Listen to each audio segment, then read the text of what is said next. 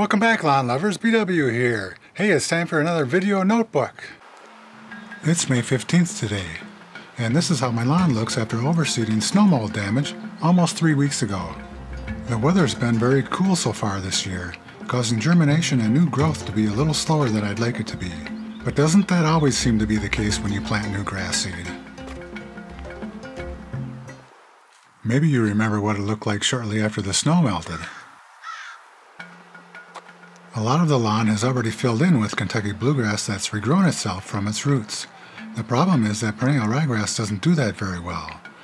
So I needed to apply more seed in order to maintain the 70-30 mixture of perennial ryegrass to Kentucky bluegrass that I originally planted in this lawn. I had some of the same seed left over, so I just used some of that.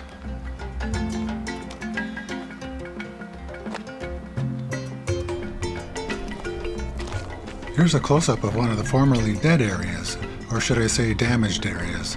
You can easily see the small clumps of Kentucky bluegrass coming back in here.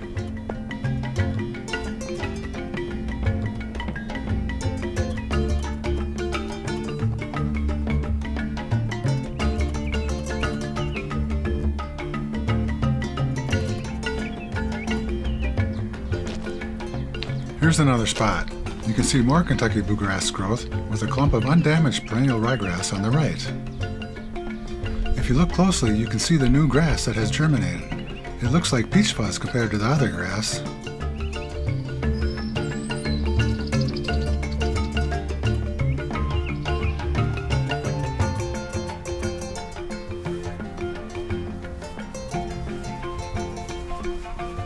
Here's another more heavily damaged spot with a lot of new grass beginning to grow.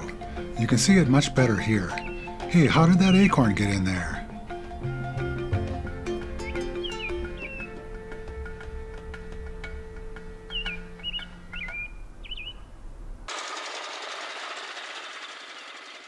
I've been mowing regularly all spring in order to keep the surviving grass train to being cut at one and a quarter inches.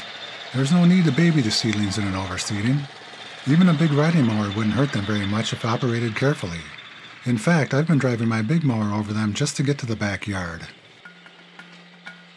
This was a case of snow mold damage, but I would do the same things with damage from any other kind of fungal disease.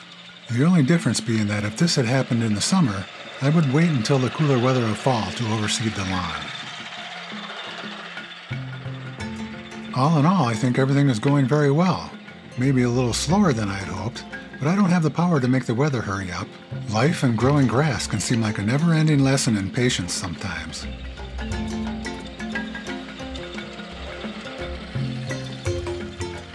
Check out my earlier video notebooks to catch up on this story, and don't forget to subscribe so you don't miss the next video notebook. Don't worry about it, you can do it.